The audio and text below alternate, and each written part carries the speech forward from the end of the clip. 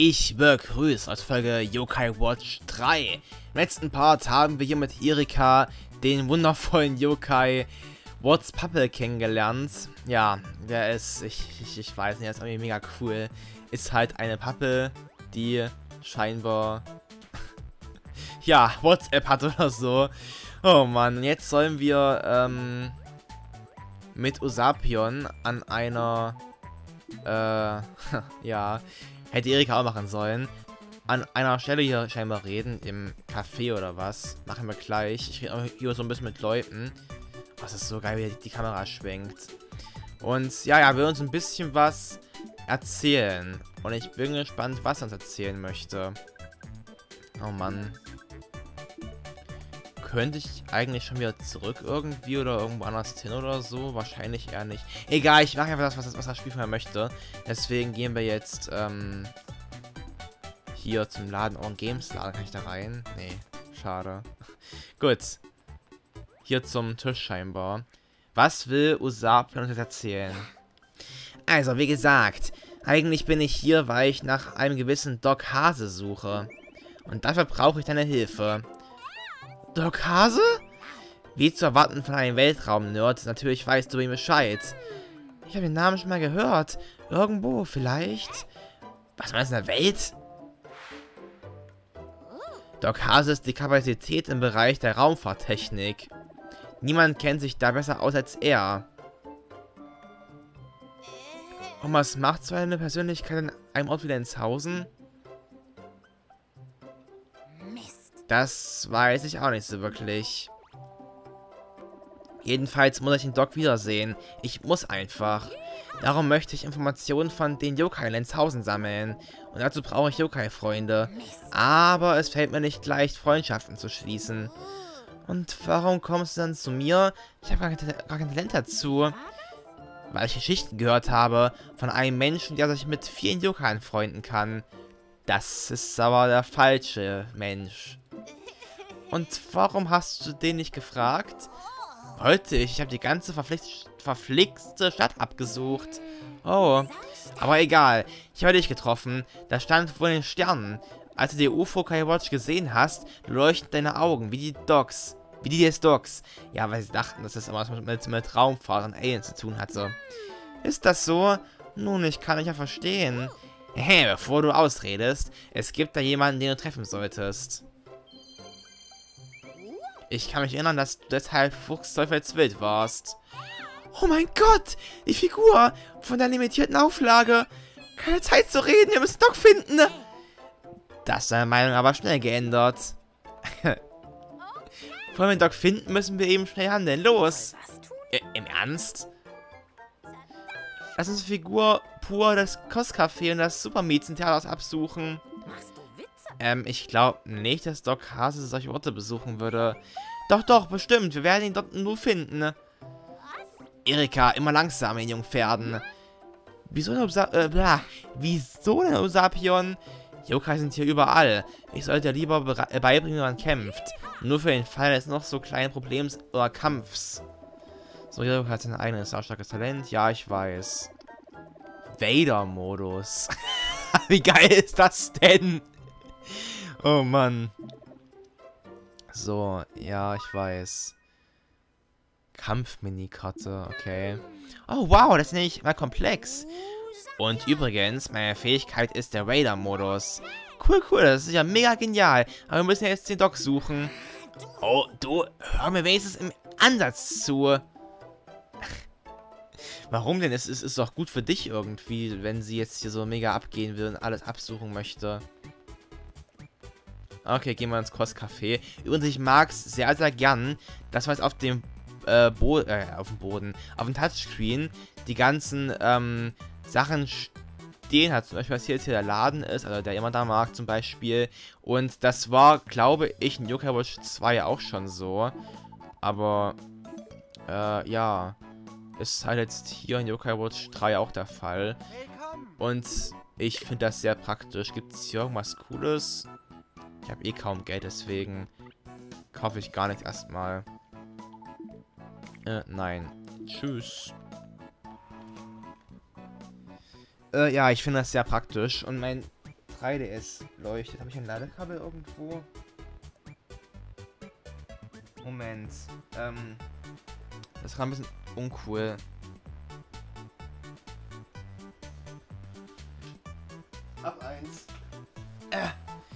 Sag hinter mir, warum auch immer. Moment, ich muss einmal ganz kurz einstecken. Es ist gerade wichtiger als der Part, weil sonst geht 3DS aus und dann können wir das nochmal spielen hier. Und das wollen wir natürlich nicht. So. Gut. Dann ging es ins äh, Kostcafé, würde ich sagen. Und gucken mal, ob wir den Doktor finden können. Ich bin gespannt. Hier ein schönes Bild machen. okay, rein da. Hier ist das. Oder? Ja. Jetzt bin ich gespannt. So. Ich rede erstmal den anderen Leuten, bevor ich mit der Frau dort rede. Für mich dasselbe bitte. Äh, ich nehme die liebe Spaghetti. liebe Spaghetti. So, Candy. Alles klar. Das ist interessant. Oh Gott, was bist du denn für eine? Marcy. Was zum Teufel? Ist das Kostüm so eng oder was? Das ist so toll hier. Alles klar. Ihr seid ja auch nur, nur, nur Jungs scheinbar. Wahrscheinlich gehen ja auch nur Jungs hin, weil hier halt die Mädchendienerin sind und so. Also, also, äh, Kellnerin meine ich. Willkommen zurück, werte Dame. Dankeschön, charmant wie immer. Die Dienstmädchenkostüme hier sind echt absolut schickst, die schicksten. Hier ist Doc Hase anscheinend nicht. Doc, wo bist du? Ich kann mich noch gut an unser Treffen im Hasenstall erinnern. Was hatte ich bei den Hasen zu suchen? Ich war doch so anders. Okay. Kein Wunder, dass sie niemand für mich interessiert hat. Sich niemand für mich interessiert hat. Als Freak. Hey, du hast ja früher ausgesehen wie Mirko. Mirko. Was zum Himmel ist ein Mirko? Egal, weiter am Text. Mein Leben war wertlos, bis mich Doc Hase eines Tages gerettet hat. Du kommst mit mir, da draußen erwartet eine schöne Zukunft. Doch, wo bist du, Ploas? Ich werde die Suche nach dir niemals aufgeben. Niemals! Okay. Haben jetzt ein bisschen was zu seiner Backstory erfahren, quasi. Dass er vom Doc damals gerettet wurde, wie auch immer. Warum soll man jetzt hier in die Seitengasse rein? Ramschgasse. Jetzt kommen ja auch die ersten gegnerischen Yokai. Was gibt's hier für welche? Schließt sich einer vielleicht mir an? Aufbleiber. Was zum Teufel sind das für Yokai? So was kannst du für äh, einen Dings. Aus Abhören ist äh, Dings. Seht. Wie kann ich ihn jetzt reinigen? Okay, einfach so. Was? Wie geil ist das denn? Hier gibt es ja echt komplett, komplett neue Sachen. Komplett neue Muster irgendwie. Na, schade. Hat nicht mehr geklappt, das aufzusammeln. Oha, das gewonnen geht jetzt da oben hin, sehe ich gerade. Also es ist, ist, nicht mehr so in der Mitte des Screens, sondern es geht nach oben. Voll die Änderung im Vergleich zu Watch 1, die mir auffällt. Oha. Was geht jetzt da ab? Aber irgendwie ist der Ladescreen immer so ein bisschen lang. Aber wahrscheinlich liegt es einfach daran, dass ich halt noch den uralten ähm, 3DS habe.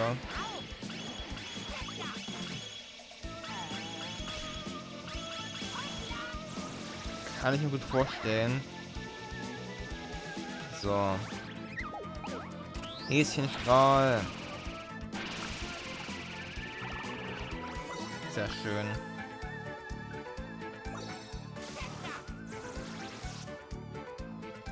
Dann haut jetzt mal rein. Hoffentlich. Sehr gut. Ich hätte auch nichts dagegen, dass sich irgendein Yokai mir anschließt. Ein anderer. Und What's Puppel bekommt Level 4, sehr schön. Und was ist hier jetzt zu untersuchen? Kann ich auch weiter? Ich könnte ja auch weiter, aber, aber wa warum denn, wenn ich hier was untersuchen kann? Coolio! Hallo Sailor Amora, du bist aber groß heute. Osapion, schau mal, das ist echte Handwerkskunst.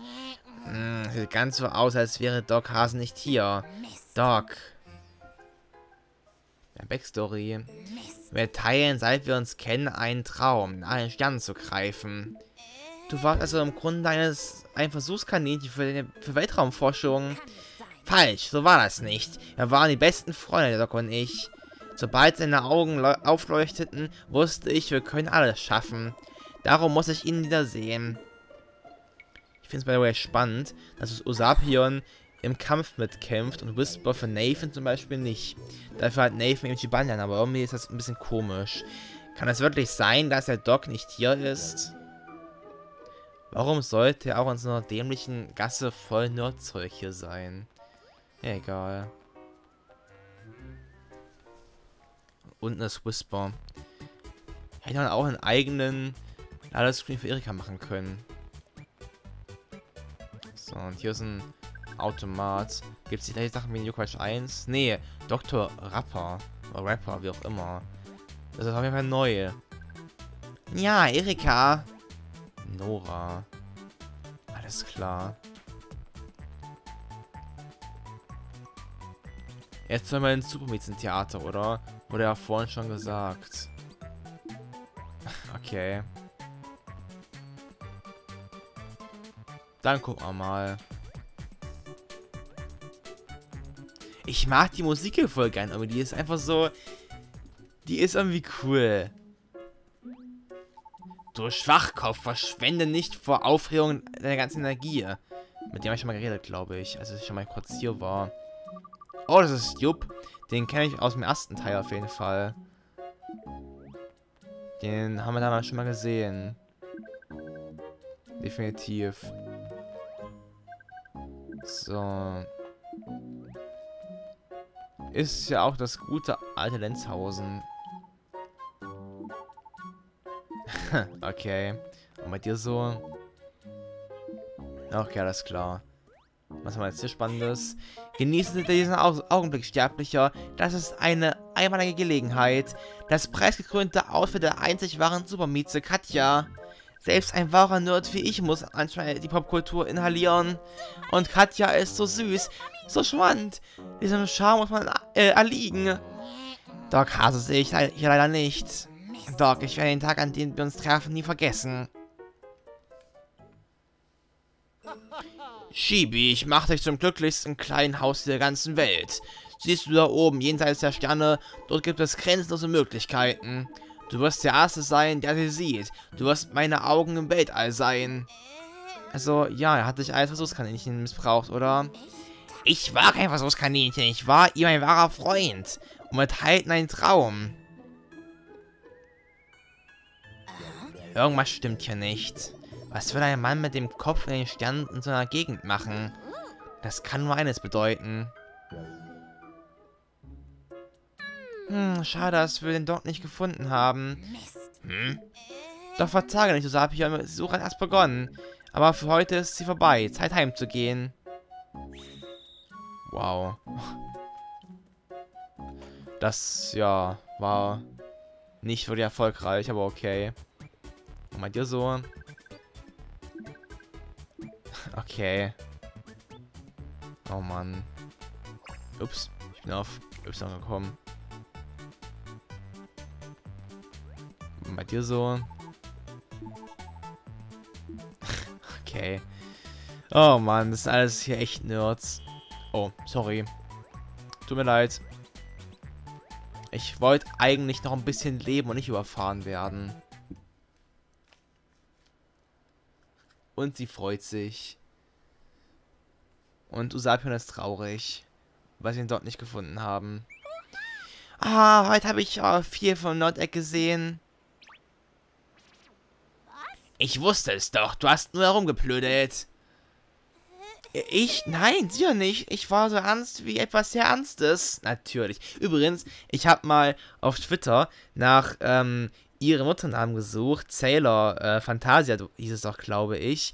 Und den gibt's wirklich. Ist irgendein, ich glaube, spanischer Account gewesen. Zwar mit PH, nicht mit F, aber er existiert. Und er hat auch Erikas Profilbild. Das heißt, äh, hat sich wahrscheinlich wer nach ihr benannt. Sailor Fantasia. Ich war eben dort, wo ein Gleichgesinnter wie der Doc sein könnte. Die süßen Sailors könnten seine absolute Lieblingsserie sein, soweit ich weiß. Ich sollte... Und er macht mir den Wehrmodus an. Ah, es tut mir leid, es tut mir leid! Oh Mann. Frau guckt da hinten zu, wie Erika vor irgendwas wegrennt, was sie gar nicht sehen kann. Ist auch witzig. Nun, jedenfalls, wie wurdest du überhaupt vom Doc getrennt? Seid ja nicht die besten Freunde. Äh, das war... Das war ein Unfall. Die Rakete ist während des Antriebstests explodiert. Und ich war eine Rakete, also bin ich gestorben. Und so sind Yokai geworden. Oh nein! Der Doc hat die Verantwortung dafür übernommen und das Labor verlassen. Da habe ich ihn selbst gesehen. Ich war bereits ein Yokai und allein. Aber dann habe ich das Gerücht gehört, dass er hier in Lenzhausen wäre. Und er hat sogar noch seine Erinnerung, wie auch Jibanyan an Amy. So ist das also. Ich muss ihn noch mal sehen, nur einmal. Okay. Und dann gehen wir zu Nathan. Das ging schnell. Die kriegen immer noch. Ah, diese Steaks wären großartig. Kein Fleisch, kein Leben. Lass das Barbecue beginnen. Barbecue. Und alle feiern es. Auch die Mutter, die im letzten Part noch so war. Ja, aber mein Gemüse. Das gibt's ja auch noch Gemüse. Drücke. Ach so, das, das kommt über sowas. Oh Gott. Das werde ich bestimmt wieder verkacken. Okay. 20, äh, 20 hatten es diesmal aber nur. Sieht gut aus. So, das war nur okay, verdammt. So viel zu essen, ne?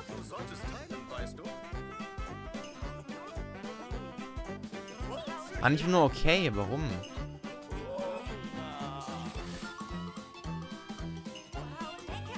Wow, lecker.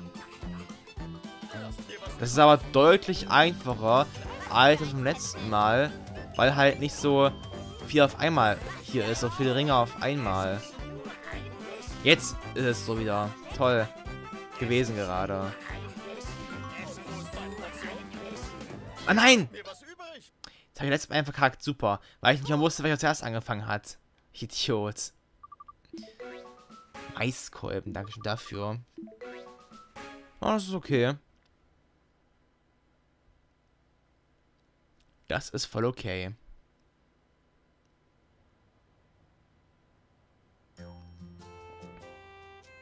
Oh, die Musik. Wie auch immer. Sieht so aus, als wären wir satt. Ich werde dann die Teller wegräumen. Ich bin mehr als satt. Ich platze gleich. Das beste Griff ist aller Zeiten, ne? Und die Beine auf dem Tisch. Du kannst eine Gabel in mich pieksen, ich bin durch. Wir hast nur mit deiner Trägheit durch. Wir sollten ein neues Kapitel aufschlagen. Wisst ihr, ich habe mir wegen unseres Umzugs irgendwie Sorgen gemacht. Aber wenn alles weiter so läuft, wovor sollte ich mich fürchten? Du musst dich wirklich vor nichts fürchten, Nathan. Nicht mit einem Yokai Butler wie Whisper an der Seite und einem sehr, sehr komischen Bild. Nein, das ist der Grund unserer Sorgen. Wie war das? Oha. Hey, hey, hey, ganz ruhig, Leute. Egal, die USA ist ab jetzt unser Zuhause, Nathan. Die USA ist, das heißt, die USA sind. Grammatikfehler entdeckt. Und das viele Amerika-Yokai, also freunden wir uns mit möglichst vielen an. Ja, das machen wir. Und steht nichts im Weg. Amerika-Yokai bereitet euch gut vor. Sehr schön. Und das war das erste Kapitel direkt. Aber warum hat man das jetzt... Warum gab es dafür einen Wechsel? Das hätte noch vor noch dranhängen können. Egal. Es gibt Neuigkeiten bezüglich des Docs. Echt? Welche? Wo ist der? Ähm, er wurde wohl in ein Krankenhaus in der Innenstadt eingeliefert. Ins Krankenhaus? Geht es ihm gut? Ist er krank? Was fehlt ihm, Doc? Das weiß ich nicht. Das steht hier nicht. Steht hier nichts? Dann denkst du, wir können zum Doc gehen? Ich konnte noch nicht mal das herausfinden, trotz aller Bemühungen. Was? Aber das ist das erste Suchergebnis. Was zum Himmel? Herr Doc scheint uns unter seinesgleichen sehr beliebt zu sein. Ich gab nur Doc Hase Aufenthaltsort ein und hatte das Ergebnis. Du meinst, es war so einfach? Also war all die Arbeit letztendlich sinnlos? Oh, Sapion, please. Ähm. Jetzt ist auch nicht mehr wechselt zu Nathan, oder? Wer ist das? Was bist du? Oder ein Yokai, oder was? Das sind, das sind so Yokai-PCs. Hm. Also, das, das habe ich gerade gesehen, das, das sind so Monitore, wo im, im Hintergrund so ein Yokai-Zeichen war, wie auch was Puppet Handy. Jetzt ist alles, wo es sein soll. Wer ist das? Ist der böse? Ich, also ich würde ich, ich, ich würd sagen, er ist gut, weil er gesagt hat, das ist alles, wo es sein soll. Und dann hat er die Yokai Watches von Nathan und Erika ge äh, gezeigt und hat gesagt, ja, okay, guck mal hier, jetzt sind die Yokai Watches bei ihren rechtmäßigen Besitzer, Besitzer quasi so in der Richtung. Ich weiß nicht. Nun kann ich meine Hände in den Schoß legen. Wer ist das? Munkler, wegen dieser nächsten Y-Akte. Willst du wissen, was meine Meinung ist, Skepti? Nicht wirklich. Jetzt darfst du entscheiden, mit welcher Geschichte es weitergeht. Ja, meine Geschichte in den USA. Oder meine Geschichte in Lenzhausen. Die Wahl liegt bei dir. Also entscheide dich. Oh, ich kann mich einfach nicht entscheiden. Sind Entscheidungen nicht wundervoll? Was auch immer. Komm schon, wir haben Arbeit zu erledigen. Oh. Also kann man jetzt entscheiden, mit welchen Kapitel man weitermacht. Das finde ich spannend. Ich hoffe, man kann alle Kapitel von allen Charakteren machen. Also, dass man weiterhin hin und her wechselt. Äh, ich habe eigentlich Bock auf Erika, weil mich interessiert, was jetzt hier abgeht. Ja. Also kann jederzeit gewechselt werden. Das heißt, ich kann jetzt jederzeit zu Nathan wechseln, ja? Und da seine Geschichte weiter spielen. Chibi, ich mache dich zum glücklichsten kleinen Haus der ganzen Welt. Siehst du da oben jenseits der Sterne? Dort gibt es grenzenlose Möglichkeiten. Ich finde die Musik gerade voll schön. Du wirst der Erste sein, der sieht, äh, der sie sieht. Im Weltall wirst du als mein Auge dienen. Schläft im Bücherregal oder was? Mist. Doc.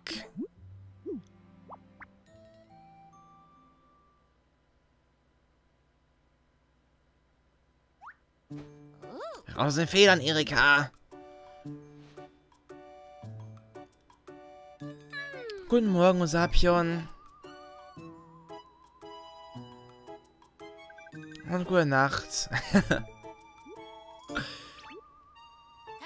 Steh auf, hörst du? Wir müssen Doc finden. Oh, es hat noch Zeit. Ich muss erstmal frühstücken. Wenn du weiter am Bett bleibst, passiert auch nichts. Steh jetzt auf. So bin ich auch, Sapion. Ich, ich, ich wäre genauso. Eine Rakete voll Hoffnung. Kapitel 2.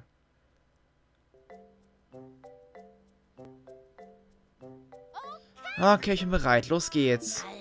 Wurde auch Zeit. Oh, aber eins noch. Ich muss noch mein Horoskop lesen.